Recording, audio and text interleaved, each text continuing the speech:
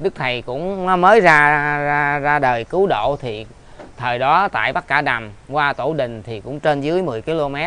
Có ông tùng thầy nho ông cũng đến ông phỏng vấn đức quỳnh giáo chủ những câu như sau và ngài cũng có thố lộ để chúng ta nhận xét ngài là một vị phật thánh. Ngài được lệnh thiên cơ như thế nào? Qua những cái lời hỏi của ông tùng thầy nho ở bắc cả đầm ông tùng ông hỏi là càng khôn tạo hóa ở một bầu kính hỏi thăm thầy dạy ở đâu? Sắc ở tà lơn hay núi cấm? Cán còn khâu mất cất ở đâu? Thì như vậy là ổng nho nhưng mà ổng hỏi đức thầy câu cũng hơi khá cao quý vị. Thì nhưng mà đức thầy mình là một vị hoạt phật rồi, thì ngài có thẳng thắn ngài trả lời liền. Ngài nói cũng biết càng khôn ở một bầu, nhưng mà tây phương yêu chúng chẳng ngồi lâu.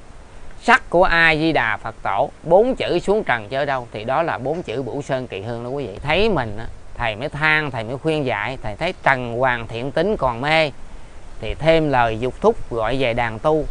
Ngài đã quyết chí từ bi của ngài rồi, ngài mới dốc lòng dạch ngút mây mù. Ngài là quyết chí hết tấm lòng của ngài rồi. Dẹt bao nhiêu cái vô minh, bao nhiêu cái đen tối để cho chúng sanh tu hành. Đặng diều bá tánh đường tu chen vào. Lời thầy cạn tỏ âm hao. Thầy đã nói cạn này nói tỏ rõ hết rồi. Âm hao là cũng như là tin tức sắp tới ngài là giải trình hết rồi cũng như việc thiên cơ khùng tỏ hạch trơn cho trần hạ tường nơi lao lý rồi. À, thầy có nói rõ ràng ngài nói chừng bảy núi lầu son lộ vẽ thì người già quá trẻ dân ôi. Hay thất sơn lộ vẽ đài lầu chừng ni mới thấy nhiệm màu của ta. Đến chừng tiếng sấm nổ gian thì thất sơn cũng lộ vẽ đền vàng báo thai.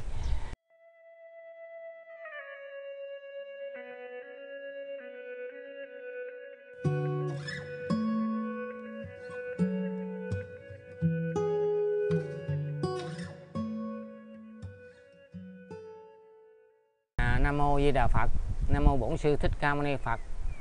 Cũng kính trình các vị đất đai thành hoàng, bổn cảnh hoàng thiên hậu thổ và kính đức vua Quang Trung ở vùng đất sình Hù này, hôm nay là ngày 22 tháng 6 năm 2021 trên tinh thần đạo pháp thì chúng con cũng muốn đưa lên lời vàng tiếng ngọc lên cộng đồng mạng xã hội cho nên hôm nay dịp nhân viên hạnh ngộ, chú Cường và chú Hiệp được đến đây cũng xin phép các ngài cho chúng con được kính dân lên nhắc lại những lời vàng tiếng ngọc của Đức Phật. Như sau, thì xét thấy đây, thì giữa hôm nay, chú Cường, chú Hiệp hỏi thăm giữa tình hình thế giới, dịch bệnh trên thế giới và trong đất nước ta như thế này. Thì đây thì cũng xin phép mạo muội để à, kính dân lên cộng đồng xã hội. Những cái à, sự nhận xét của tôi như sau thì xét ra đó, ngược dòng đó là lịch sử cách đây 26 thế kỷ, nơi xứ Ấn Độ thì cũng có xuất hiện một bậc Phật thánh nhân. Đức hạnh của ngài như hàng dạng đó hoa sen, lời nói của ngài cũng như bao nhiêu dòng nước cam lồ để rưới tắt lửa trần ai của chúng sanh trong xã hội. Để có dịp đó là học Phật tu nhân bước lên con đường giải thoát. Thì ở miền Nam nước Việt Nam chúng ta cũng vào thời kỳ năm kỷ mão 1939 ngày 18 tháng 5 thì tại làng thôn Hòa Hảo, tỉnh Châu Đốc, thời đó, cũng có xuất hiện một đấng Phật thánh. Đó là Đức Quỳnh giáo chủ. Và từ ngày ấy, đạo Phật giáo Hòa Hảo được khai sáng đến nay. Và Đức Quỳnh giáo chủ ngài cũng có tiên tri rằng ta là một trong những đệ tử trung thành của Đức Thích Ca Mâu Ni thì đúng như thế, trong bài diệu pháp quan nghinh minh, ngài cũng có bảo rằng, ta thừa dương sắc lệnh thế tôn khắp hạ giới, truyền khai đạo pháp, và ngài cũng có dân năm sắc lệnh như sau. Thừa dương sắc lệnh của trời cùng ông phật tổ giáo đời khuyên dân. Khùng dân lệnh tây phương phật tổ nên giáo truyền khắp cả nam kỳ. Hay hoặc giả là quan âm nam hải phổ đà cùng thầy ra lệnh nên ta giáo truyền và điên này dưng lệnh minh dương với lệnh phật đường, đi xuống giảng dân. Và sứ mạng thứ năm của ngài là ta thừa dương sắc lệnh thế tôn, khắp hạ giới truyền khai đạo pháp. Và năm cái sứ mạng của ngài, thứ nhất là ngài báo tin ngài tận diệt. Cái thứ nhì là ngài đưa các thiện căn đến kỳ đại hội long hoa. Và thứ ba là ngài đánh thức những linh hồn đã gieo rắc thiện duyên với ngài trong nhiều tiền kiếp. Cái thứ tư là ngài chấn hưng đạo phật. Và thứ năm là ngài phò trợ thánh dương. Là Đức Vua Minh Dương là cái ngày là sắp sửa để đại hội Long Hoa đó quý vị. Cho nên ngài có những điều chứng minh ngài là một vị Phật như sau. Điên này vốn thiệt ở núi vàng hay là kim sơn Phật ấy giáng sanh thành rành hoặc đặt là là trong bài dặn dò bổn đạo, ngài cũng có nói rằng là bồng lai điên dại có ngôi, tây phương cực lạc, khùng ngồi tòa sen. Cũng như trong sấm giảng quyển nhất, ngài cũng có tiên tri thố lộ rằng, dạy rồi thuyền lại mỹ tho, khuyên trong trần hạ phải ráng lo tu trì, xưa nay đâu có mấy khi dương trần có phật vậy thì xuống đây. Cũng như đó là ngài, ứng hiện là ngài là quá thân ứng hiện trong cái quyển một là cũng như sấm giảng khuyên người đời tu niệm đã ngài cho tất cả chúng sanh đồng đạo chúng ta biết là hạnh phúc của chúng sanh là có Phật xuống đây giáng lâm trần để dạy dỗ. Thì cũng như là ngoài ra đó, còn là những cái câu để chứng minh như ông Tùng là ông thầy nho thời đó Đức thầy cũng mới ra ra, ra đời cứu độ thì thời đó tại Bắc Cả Đầm, qua Tổ Đình thì cũng trên dưới 10 km. Có ông Tùng thầy nho ông cũng đến ông phỏng vấn Đức huỳnh giới chủ những câu như sau, và ngài cũng có thố lộ, để chúng ta nhận xét ngài là một vị Phật thánh. Ngài được lệnh thiên cơ như thế nào? Qua những cái lời hỏi của ông Tùng thầy nho ở Bắc Cả Đầm. Ông Tùng ông hỏi là, càng khôn tạo quá ở một bầu, kính hỏi thăm thầy dạy ở đâu? Sắc ở tà lơn hay núi cấm? Cán còn khâu mất cất ở đâu?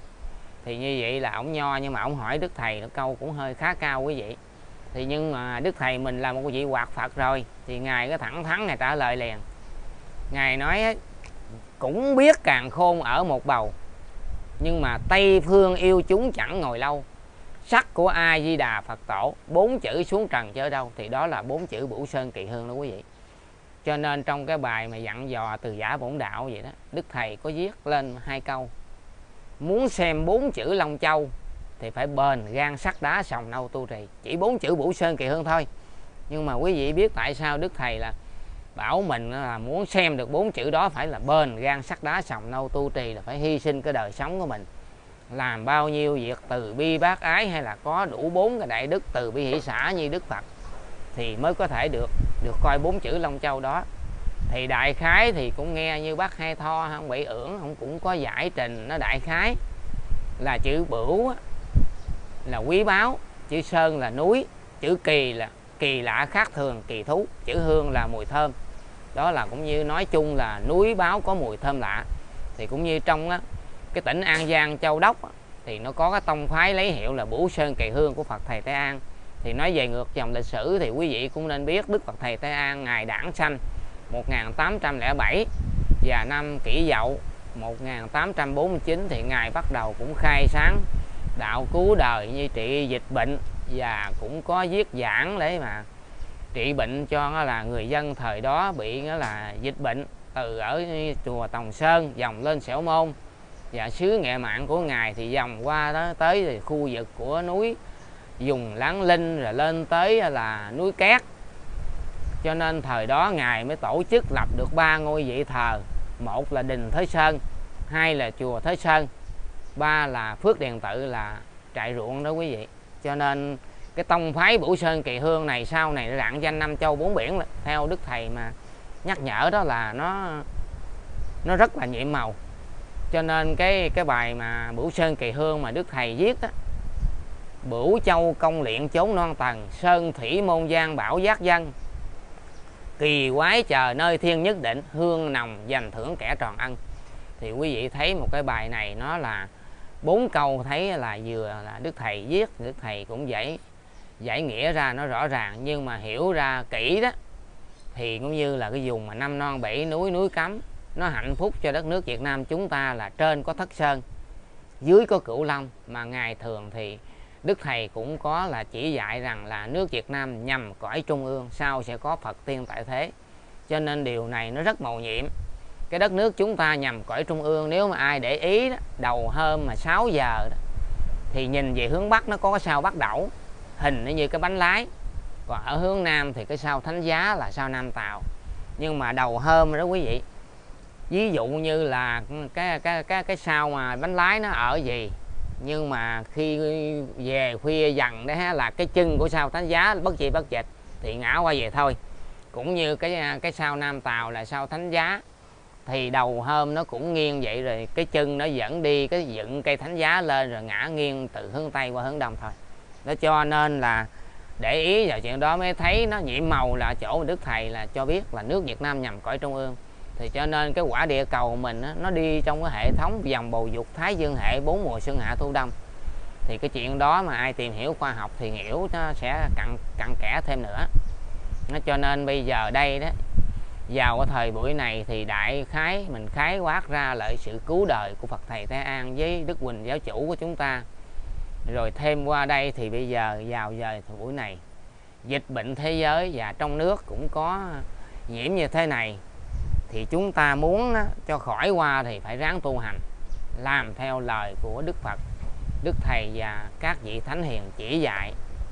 Thì hàng ngày là nếu ai là người mà biết nghe được thì trì chay giữ giới nhất là hành tám điều răng cấm bát chánh đạo bát nhẫn và 10 điều khuyến tu.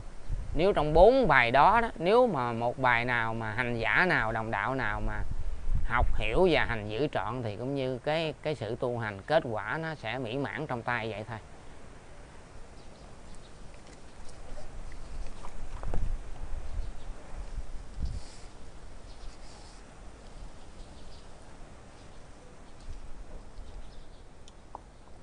Cho nên bây giờ đó, vào thời buổi này đó, bao nhiêu dịch bệnh, bao nhiêu tai nạn mà đức quỳnh giáo chủ ngài cũng có báo tin trước rồi trong cái quyển nhì đó, thì ngài cũng có nói là đời tận thế mà còn lần lửa, chẳng chịu mau cải giữ về lành.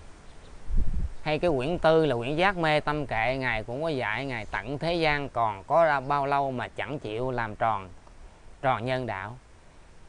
Chữ nhân là người, chữ đạo là đường, là đạo là nhân đạo, là cái đường lối chân chánh mà đức phật, đức thầy đã chỉ cho chúng sanh, chúng ta là học phật tu tu nhân tu hiền để giữ trong khuôn vàng thước ngọc của các ngài. Thì nếu gia đình nào mà hạnh phúc mà hiểu được có duyên với phật mà giữ như vậy đó thì rất là hạnh phúc.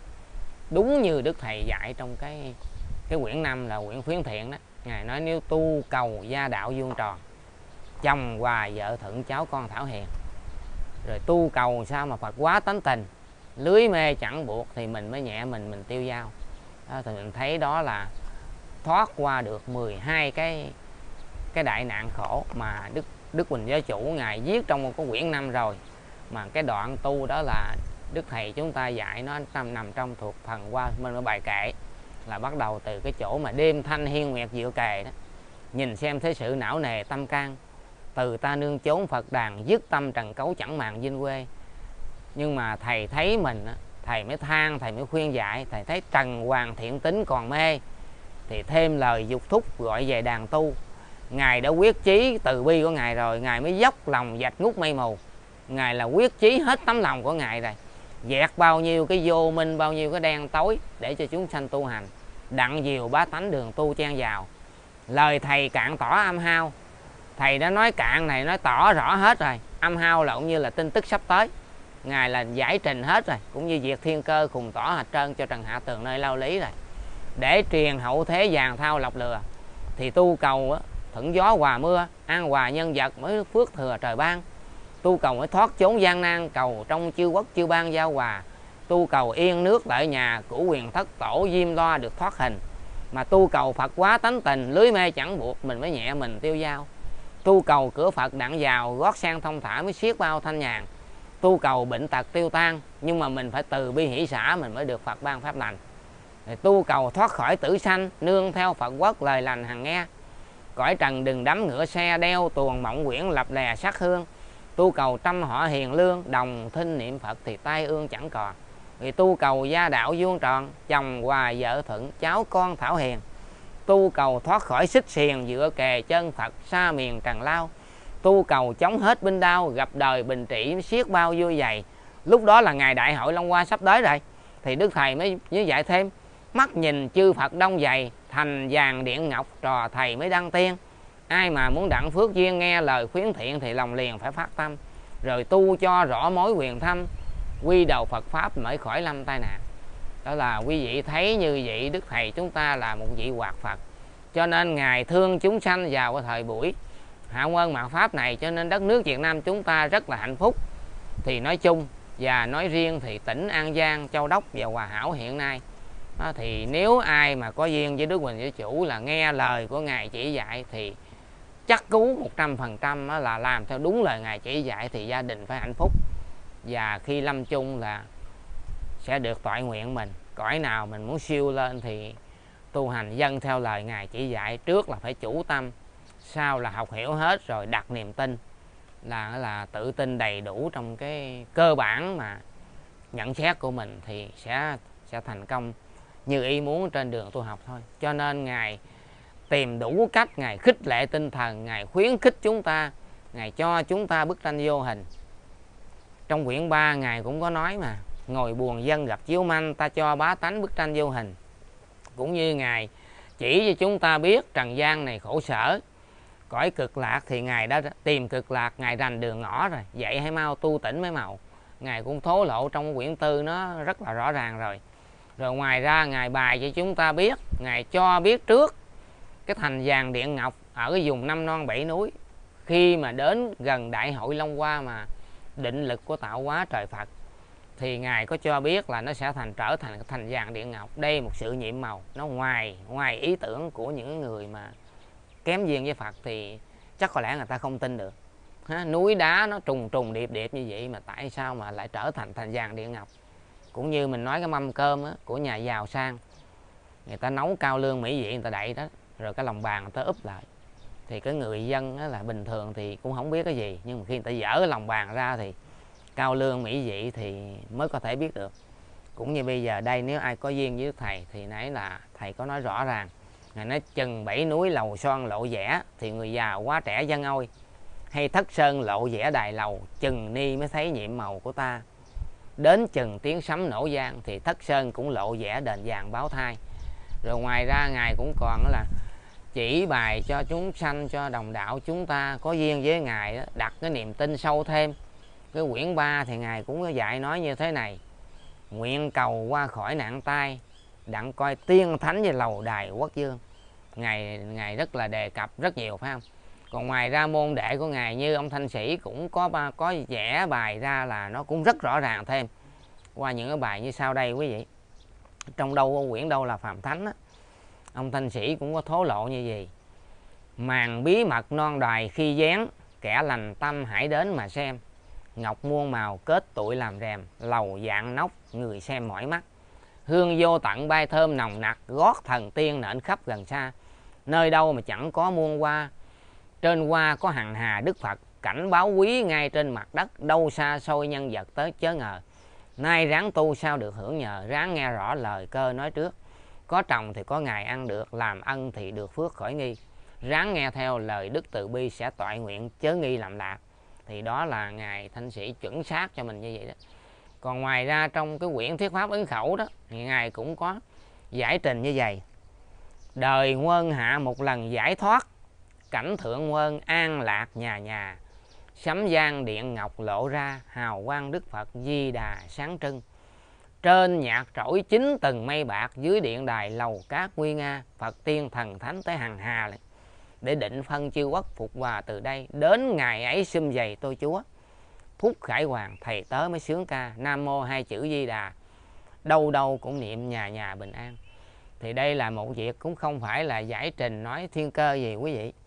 Đức Quỳnh Giáo Chủ Ngài cũng có nói trong quyển 3 đó, Ngài nói Minh Hoàng mà chưa ngự đài mây, Thì gẫm trong thế sự vẫn còn đầy gian trưng. Còn đây là ông Thanh Sĩ cũng nói trong thuyết pháp ứng khẩu vậy đó. Ngài có nói là dù ai có lắm tài ba Cũng không đem lại chữ hòa được đâu, Chờ cho non cấm quá lầu, Phật ra công dụng phép màu mới yên. Từ đây đến lúc định quyền, Biết bao tan tóc khắp miền Á Đông sang giàu chi nữa mà mong, thì điểm tô cho lắm cũng như công giả tràng. À, rồi ngoài ra ngài cũng đề cập thêm, bấy lâu con nọ xa cha, nay nghe tin nhạn ai mà chẳng trong chừng nào cá nọ quá long, thì cấm sơn lộ vẻ đền rồng mới yên. Quý vị thấy đây là những cái bậc mà tiền bối tu chứng đắc không? Giải trình không? Thì những cái lời này không bao giờ sai lệch. Tôi thấy thì tôi thì năm nay 66 tuổi, nhưng mà tôi hiểu, được biết Đức Huỳnh Giáo Chủ từ năm tôi 14 tuổi. Cho nên từ năm 14 tuổi đến năm 2000 thì mình cũng làm ăn, mình cũng tin tưởng cái duyên mình với ngài thì có. Rồi ngài tin là ngài làm vị Phật, ngài nói gì thì lúc đó cái cái trí mình cũng còn kém, cái lòng tin mình nó cũng chưa được mạnh mẽ. Cho nên đến cái năm 2000 đó, mình mới có dịp rồi mình quy y, rồi mình tham khảo lời kinh giảng thánh hiền với lời cứu tướng mình giáo chủ thêm mình mới đặt cái niềm tin là 100% Đức Quỳnh giáo chủ nói gì là phải có hết. Cũng như hồi đó ngài nói là năm 1939 ngài nói cuộc khổ thảm chiều mơ sẽ đến, dân sao còn triếu mến trần mê. Mắt nhìn ngoại quốc thảm thê, nam bang cảnh khổ kề bên tai. Mà quý vị thấy là thời đó đâu có hệ thống nghe nhìn vô tiếng truyền hình gì đâu. Lúc đó ngài đi thuyết pháp thì hay lắm là được có là cái cái dàn âm ly với micro để mà lòng có tiếng cho lớn thôi. Nhưng mà hồi đó mình nghe nhiều người lớn tuổi mà đi coi đức thầy thuyết pháp rồi truyền lại con cháu tới giờ đó là cái lời của đình uy vũ là là phật âm. Chơi như là ngài nói mà không có micro âm ly đó cái người đứng xa bao bao xa cũng có thể nghe được hết. Đó là cái chuyện nhiệm màu mà mình nghe người xưa nhắc lại vậy đó, đó quý vị nó cho nên bây giờ là mình thấy ngài nói cái gì là cũng phải là có hết. Đó, ví dụ như cái quyển 1 ngài nó hạ quân đây nó hết đời. Phong ba biến chuyển đổi dời gia can năm mẹo kỹ mão rõ ràng khắp trong trần hạ nhộn nhàng siết chi. Ngồi buồn điên tỏ một khi bá gia khổ não dậy thì từ đây cơ trời thế cuộc đổi xây điên mới theo thầy xuống chốn phàm gian. Thấy đời ly loạn bất an khắp trong cát nước nhộn nhàng đau binh. Ngài dùng cái từ là cát nước là là nó ra số rộng rồi. Kẻ thì phụ nghĩa bố kình, người thì trung hiếu chẳng dình dạng hai. Nên điên khuyên nhủ bằng nay để khuyên trong lê thứ ngày đài tĩnh tâm. Ngài cho biết mà trầm bông kiển giống chi hưởng nấy, cơ thâm thì quả diệt thâm nào trong sách sử có làm ở đâu. Người khôn nghe nói càng rầu, người ngu nghe nói thì chỉ ngửa đầu cười reo thôi. Nhưng mà ngài nói rồi sao sẽ thấy hầm beo khắp trong bá tánh hiểm nghèo đáng thương. Cho nên bây giờ hôm nay đây thì tôi cũng xin phép với cộng đồng xin phép và xin lỗi. Nếu có những cái gì nó hơi quá lố thì mong cộng đồng mạng và tất cả quý đồng đạo cũng như tất cả quý khán giả thì quan hỷ và bổ chính để cho nó tốt đời để đẹp đạo thôi. Thì sức hiểu của mình bao nhiêu thì mình nhắc nhở. Đây chỉ duy nhất cũng như là trích yếu pháp lý, cũng như là lựa những cái đoạn pháp nào mà tất yếu của đức thầy, đức phật và các cái cái bậc giác ngộ đó liễu đạo đó nó nhắc lại thì mình nhắc lên trên cho tất cả anh em cộng đồng mạng nghe. Để mà hữu duyên thì thực hiện tu hiền thì gia đình nó hạnh phúc và ngoài xã hội nó cũng được đó là tốt đời đẹp đạo. Thì cái ý của tôi vậy thôi. Thì xét ra đó ngoài ra đức quỳnh giáo chủ á, ngài còn á, là báo tin thêm những cái sự mà chúng sanh phải nhận cái nạn khổ đó cũng như á, về nạn đau ốm bệnh hoạn rồi nạn chết chóc về đó là con người bạo lực với nhau vì vì nạn thú dữ nữa. Ví dụ bây giờ ngài nói là lớp đau chết kẻ thôi vô số rồi thêm tà ma yêu quái chặt đường chốn hồng trần nhiều nỗi thảm thương mà làm sao cưới như người hung ác. Rồi ngài mới nói thêm khắp thế giới cửa nhà tan nát cùng xóm làng thưa thớt quạnh hiu bấy lâu nay nuôi dưỡng chắc chiêu nay tận diệt lập đời trở lại, cho nên phải khắp lê thứ biến di thương hải, dùng phép màu lập lại thượng quan cái câu mà biến di thương hải này đó, nó không phải là bình thường quý vị. Bởi vì đức phật nói bởi vì biến di thương hải là cái tan điền biến di thương hải, từ cái chỗ đất liền mà trở thành biển giả. Biển giả nó phải trở thành đất liền. Nó đây là một cuộc biến đổi nguyên kỳ, nó là khốc liệt cho nên nếu mà hiểu về khoa học thì cũng tham khảo với bao nhiêu vị chức sắc. Người ta trao đổi thì tôi đây tôi biết bao nhiêu thì tôi giải trình ra bao nhiêu thôi. Cũng như bây giờ ngài viết trong quyển cái bài giếng làng nguyễn hội đông hoàn cầu trái đất chuyển xây mà tại sao lại gớm ghê cho chúng phơi thay muôn ngàn? Bây giờ hiện nay quả đất của chúng ta nó cũng vẫn quay như bình thường. Đó, nhưng mà sao không nghe đó? Nhưng mà ngài báo tin đó nó gần cái ngày để chuyển qua thượng quân thánh đức. Nó có cái cái sự mà chuyển xây mà tại gớm ghi chúng phơi thay muôn ngàn. Đó là quý vị thấy nếu theo khoa học thì quả đất chúng ta cái đường kính nó khoảng trên dưới 13.000 km thì nhân ra cái cái cái chu vi nó khoảng 40.000 km thì chia ra thành 24 múi giờ hay 36 kinh tuyến mà nó chỉ quay á, cái quả địa cầu của chúng ta nó quay đó quý vị thay vì cái quả đất tròn. Nó quay không phải như cái tu pin máy mà nó quay trong một phút mà mấy trăm tua, mấy ngàn tua. Chỉ 24 giờ đồng hồ thì quả đất chúng ta nó quay giáp vòng nó một lần. Thì nếu tính ra đó, cho kỹ nó cũng phải là chúng ta mà bị nó di chuyển đi như thế này nè, với cái tốc độ khoảng 1.600 km giờ là trên xe chúng ta chạy trăm km giờ là không ai dám ngồi xe mô tô là trăm km giờ không ai dám ngồi. Nhưng mà đây là cái cái sức hút quyền diệu màu nhiệm của trái đất đó quý vị. Cho nên cái trái đất chúng ta tròn. Nếu ở bắc cực đứng gì thì không sao. Mà chúng ta là ngang đường xích đạo nè. Đứng ngang đây cũng không ngã. Mà ở nam cực đứng xuống gì cũng không ngã. Do cái cái sức hút màu nhiệm của trái đất. Bởi vì trái đất chúng ta là rất lớn. Nó xoay chuyển trong cái định lực vũ trụ qua một cái dòng thái dương hệ bầu dục là nó hình nó hơi méo hơi. Thì nó đi như thế đó là quý vị biết đó, trong một năm 12 tháng. Từ tháng 1 tới tháng 3 thì là quý 1 mà tháng 3 tới tháng 6 quý 2 tháng 6 tháng 9 quý 3 tháng 9 tháng 12 thì nó quý 4 là nó cũng như đây là cái định lực tạo hóa mà phân thành mùa xuân mùa hạ mùa thu mùa đông. Mà đó giờ quý vị thấy đi suốt từ hồi bao nhiêu ngàn năm tới giờ trái đất chúng ta không không không di dịch. Đi theo một cái định lực đó cho nên các nhà bác học mà in ấn sách lịch đó, không bao giờ lệch lạc. Tháng thiếu tháng đủ năm nhừng thế nào là các nhà bác học tính không xe gì hết. Cũng như nhắc lại hồi năm 1994 nè quý vị thấy các nhà bác học thiên văn học họ nói là nhật thực nguyệt thực phải đi qua phan thiết vào 9 giờ 14 phút bao nhiêu giây đó. Thì sự thật quả thật năm đó mình mình chứng kiến vẫn Iran luôn đó, quý vị thấy họ ăn cơm dưới đất mà họ là bàn việc trên trời mà nó vẫn vẫn là chính xác.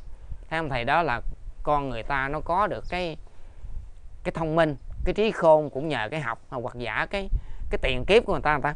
Ta có được cái à, cái tâm đạo, trí đạo rồi. Cho nên chỉ là bây giờ kiếp này là người ta thực hiện như vậy. Cho nên cái cuộc sống người ta nó nó vinh quang hạnh phúc. Mà người xưa có nói mà, nhất nghệ tinh thì nhất thân vinh một nghề tinh xảo thì một một phần được vinh hiển. Còn hiện nay chúng ta sống trong cái buổi hạ quân mà pháp này mà nhằm cái thời kỳ là đã hạ quân hạ rồi quý vị ơi. Cho nên ai mà có duyên với đức huỳnh giới chủ, với các bậc thánh hiền khuyên tu thì ai muốn là thoát khỏi cái lao tù của thế gian này thì phải tu tu thôi, chứ không có cách nào khác hơn đấy. Ngài thanh sĩ cũng chuẩn xác rất kỹ rồi. Muốn cho phách lạc hồn thanh chỉ còn có cách tu hành mà thôi chứ không còn cái cách nào nữa. Vào cái thời buổi hạ quân mạt pháp này vì vậy chúng ta dù vua quan như thế nào đi nữa thì ở trong cái cõi thế gian này cũng phải chịu theo cái định lực của tạo hóa thôi chứ không có ai mà đi đi ra khỏi dòng được hết. Chỉ có như đức phật mà hy sinh tu á đắc đạo rồi về tây phương cực lạc rồi quá thân của ngài nhiệm mậu các ngài thì dời non lấp biển được luôn mà. Còn mình á, thì ở đây thì bây giờ học phật tu nhân thì noi theo á, là gương hạnh của phật mà xử lý hành xử đạo người, thì từ từ chúng ta cũng được bước lên con đường giải thoát như đức quỳnh giáo chủ là có phân tách mà hai hạng xuất gia và tại gia đó. Trong cái quyển 6 là ngài cũng có giải trình rất là rõ rồi. Tôi đây thì cũng là nhắc lại nó tổng quát, nó sơ lược chỉ cho quý đồng đạo với quý khán giả mình xem biết vậy thôi. Rồi ngoài ra đó, ngài nói cái nạn thú dữ nè hổ lan ác thú tới muôn bầy nữa quý vị thấy hồi nào giờ nè. Ở trong cái cái cái cảnh đời thường mình có khi nào mà có không? Nhưng mà mình tin là đức quỳnh chủ nói là không sớm là muộn thôi. Bởi vì ngài là một vị phật mà. Kinh nghiệm rồi ta mới diễn ca chứ ngài không có khi nào mà ngài nói bướng hết á. Nó cho nên là lớp bay, lớp chạy sau này đa đoan, ai mà ăn ở nghinh ngang thì đón đường nó bắt phải xé tan sát hồn rồi cái quyển nhì đó quý vị. Ngài còn nhắc hai câu này nghe cũng khá khá lạnh lắm. Ngài nói, sao tà tinh ăn sống nuốt tươi mà bá tánh chẳng lo cải thiện? Bây giờ ví dụ như thú vật thì nó khác. Mà sao ngài sử dụng cái từ hai, từ tà tinh này là nó ngoài sức tưởng tượng của mình? Đó, nếu mà căn cứ như tà tinh mà để định nghĩa đó. Tôi có nghe cái list của cô lái đò bến hạ là cũng như đầu tiên là cổ đò chiều chiến cuối quê cô nó là cổ ở dưới huyện cái sách tỉnh sóc trăng đó. Cổ có lên mấy cái clip tôi cũng coi qua. Cổ nói cổ có từng chứng kiến cái cảnh mà tan thương ở Indonesia là cái trận động đất rồi đó. Nó sẽ là tù nhân đó, nó thoát ra được. Bình thường thì quản đốc quản giáo trại giam nó giữ nhưng mà khi động đất rồi thì tù nhân nó thoát ra tù nhân nó thoát ra nó hiếp dâm. Nó hiếp dâm phụ nữ trẻ em đàn bà. Thành ra là những cái người đó khi bị hiếp dâm chết cái xác nằm đó hồn của những con tà con tinh nó mới nhập vô nó mượn những cái xác chết đó, đó. Đó là đây là tôi không dám gì nhưng mà tôi nhắc lời của cô lái đò bến hạ là ở dưới uh, huyện cái sách tỉnh sóc trăng thôi. Cổ định nghĩa nó như vậy đó. Còn ở đây thì tại sao đó, mình nghe đức thầy nói đó bây giờ quỷ ma thầy cũng có nói nhưng mà sao mà ngài sử dụng cái từ sao tà tinh lại ăn sống nuốt tươi mà bá tánh chẳng lo cải thiện? Đó, rồi bây giờ ngài còn còn dạy thêm ở cái chỗ mà cảnh núi non nhiều thú vị kỳ nó trọng ai hiền đức nhu mì nó sát phạt kẻ bội cha phản chúa. Quý vị thấy bây giờ thì đức thầy nói thoáng qua vậy đó mình không có lo nhưng mà khi mà đến rồi nếu mà mình thiếu công đức đó thì mình khổ lắm không có ai tiếp mình đâu mình niệm phật kêu thầy kêu trời hay gì là không được. Bây giờ mình phải tu sớm để là mình gieo duyên với phật pháp công đức mình đầy đủ. Thì như vậy là đức quỳnh giáo chủ ngài mới nói á, bây giờ tại sao mà ngài nói cái câu mà rắn to tên gọi mãng xà? Trên rừng nó xuống nó tha dương trần. Ai mà tu tỉnh chuyên cần làm đường ngay thẳng thì có thần độ cho. Thì quý vị thấy bây giờ dưới này mình bình thường mình chưa thấy con rắn nào bắp đùi đó mình chỉ thấy con rắn cầm tay là nhiều khi mình muốn hết hồn rồi. Mà ngài từng nói là mãng xà rất to. À, nếu mà tới chừng đó, đó không biết chắc có lẽ nó biến đổi gen hay sao mà nó lớn như vậy. Mà con rắn mà nó tha người ta được thì quý vị thấy con rắn đó nó đâu dưới một hai trăm ký. Con rắn mà nó tha dương trần mà đức thầy tuyên bố như vậy thì quý vị thấy như thế nào? Bây giờ nếu mà mình không tu mà tới chừng đó mình gặp mà mình đối đối đầu mình đâu được. Đức thầy dạy rất rõ mà. Đức thầy nói là bá gia hải ráng lo âu, để sao đối đầu, chẳng đặng toàn thay. Đó là lời đây là nhắc lại trong quyển quyển một mà khuyên người đời tu niệm đức thầy nhắc đó quý vị. Nó cho nên bây giờ nếu ai mà nghe lời của đức thầy chỉ dạy, thì hôm nay tôi nhắc ra đây thì mình ráng cố gắng mình tu trì, làm lành lánh giữ tu hiền cúng lại. Nếu ăn chay nè, giữ giới được thì càng quý báu, còn không thì cũng bốn ngày chay bốn bữa ấy là quy tắc của cả khùng chỉ dắt chúng sanh. Thì mình thấy cái điều này nè, nếu mà nói ra đây đó, thì ngài thanh sĩ là đệ tử của đức huỳnh giáo chủ. Ngài chuẩn xác bốn ngày chay và cách dạy dạy tu, nó rất là hài hòa, nó rất là tha thiết, nó rất là khích lệ tinh thần. Ngài nói buổi ban sơ chưa khuây diệt thế, không nên dùng kinh kệ khó khăn, chỉ khuyên một ít điều răng thôi gồm thêm trai giới mỗi trăng bốn bốn kỳ. Bị gì trăng là tháng, nguyệt là trăng mà trăng là một tháng. Đem giảng kệ của thầy con dạy thường tới lui nhắc nhở người nghe. Những điều nào họ còn mê dùng lời dịu ngọt dỗ về khuyên lơn. Họ chưa hiểu con cần giảng mãi, quên mỏi mê đừng nại công lao. Nên làm cho họ khát khao, đừng làm cho kẻ ngán ngao nơi lòng. Phải cẩn thận từ trong lời nói giúp cho người được khởi tâm lành giúp người thêm mạnh đức tin, đừng làm cho họ lòng sinh nghi ngờ. Đến đâu cũng tùy cơ quá độ, rung chuông lành thức dạ người mê. Tay không màng, tiếng khen chê, miễn lại dắt được người về nhà tu. Độ một người quay đầu hướng thiện, công đức kia sông biển há bì. Con nên noi chí từ bi ra tay độ thế quản gì riêng thân. Quý đạo đức nhiều hơn quý của mà cứu người nguy vui bỏ mạng căn. Lòng nhân ấy có chi bằng, muôn đời ai lại chẳng hằng noi theo đó, quý vị thấy đây là đức thầy chúng ta ngày thường cũng dạy hoài à. Ngài nói một cái bậc nào mà miệng nhích môi đầy văn tao nhã mà hạ bút thần mà thơ được tả đề khai. Thì những cái bậc đó là những cái bậc gần như liễu đạo không đó quý vị. Cho nên những cái lời ngài các ngài dạy thì nó rất là là chính xác. Mình nghe theo thì mình sẽ hạnh phúc thôi. Đó còn bây giờ nếu mà nói như là chúng ta tu mà không đặt niềm tin sâu, không tìm hiểu kinh kệ của phật, thì thì cái niềm tin nó cạn. Tu mà lòng chẳng mạnh tin thì là khó giữ cho mình sạch trong ở đây là lời của một cái quyển kinh trong cái quyển ờ, con thiền đại đạo đó.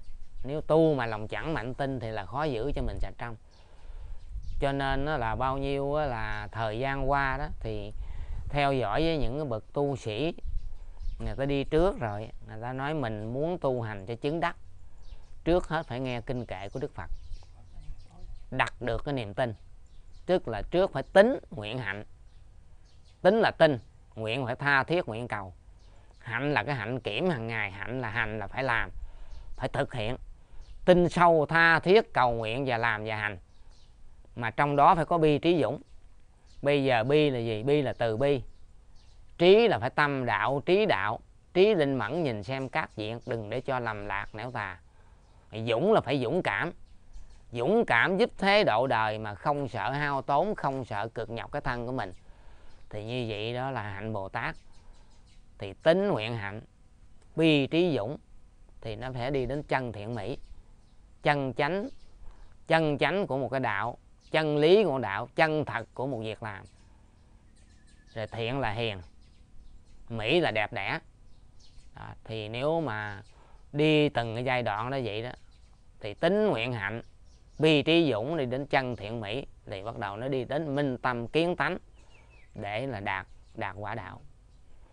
Đó, cho nên là tôi cũng à, là thấy cũng như anh em đồng đạo người ta đi trước lớn hơn mình người ta nhắc nhở thì hôm nay đây trong cái nhân dịp là chú cường.